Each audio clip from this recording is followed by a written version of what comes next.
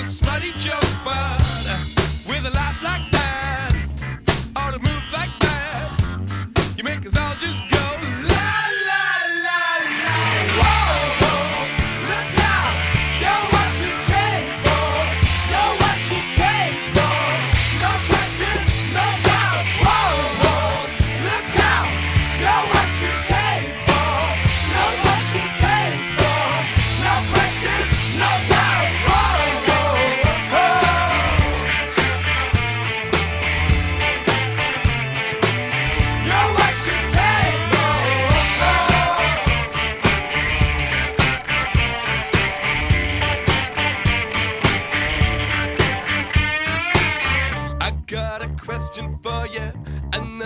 question for you.